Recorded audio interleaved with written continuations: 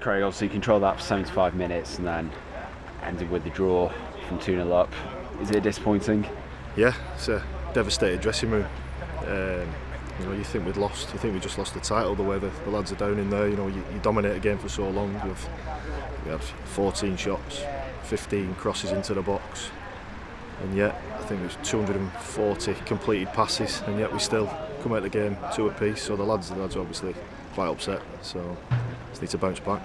How important was the timing of their goals? Because obviously it's quite late in the game. Um, there were still a few chances, but they sort of stepped it up a gear in the last five, 15. Yeah, I, th- I think they stepped it up a little bit, and we, I think second half we were off the gas. I think we were 10% down on what on what we needed to be. You know, it's been quite a, a brutal dressing room. I think that's been been agreed that you know we weren't we weren't at the races in the second half. We weren't particularly great in the first half. I know we were 2 0 up, but you know it was almost it, it seemed too easy, and we just we didn't step it up, and they did. And you know, the, you're always going to concede goals at this level. You know, the teams are teams are good teams.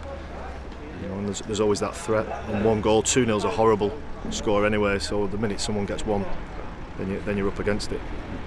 Speaking of conceding, it was quite unlucky for Jay there to um, concede off the back of it. How obviously the goalkeeper coach. What was your take on it? Yeah, Jay, Jay's held, held his hand up when he came in. Said that he, he should have done better with it. You know, I could stand here keepers union and make, make excuses for him, but he's been quite clear that the, the goal was his mistake. So, and you know, he's made one mistake all season. So, but unfortunately, as a keeper, you don't get you don't get another chance. So it's just one of them things. Jay'll bounced back. You know, he's, for my opinion, he's the best keeper in, in the league, if not if not one of the best keepers in non-league. So he, he won't have an issue with it. It'll be fine. Um, like you say, still unbeaten. Um, lads keep their head up and move on. Um, going up to the other end of the pitch, so Jordan's now got two goals, three assists, and he's on fire at the moment. Is he going to be key going forward for the rest of the season now? Yeah, I think, I think John's obviously a very good player. He's a, talent, he's a talented young boy, you know. But then you've got the likes of Danny Webber, Gaz Seddon. We've got young Samuel, who's not playing much of a part yet, but you know, you see him in training. The lad's a handful. So going forward, we're not we're not concerned. It will click. You know, like I said, we're unbeaten. This isn't. You know, we're not talking end of season relegation dull, doldrums. You know, it's uh, as a team we've just got to, you know, just put teams away when we're 2 0 up.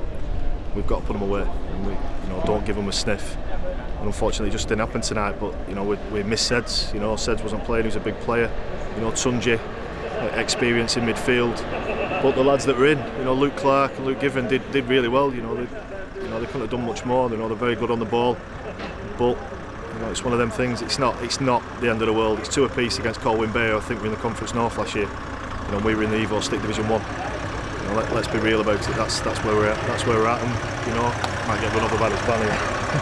um, you know, we'll bounce back. We've got Buxton Saturday. We beat Buxton. Suddenly we're, we're back on the uh, back enjoying it.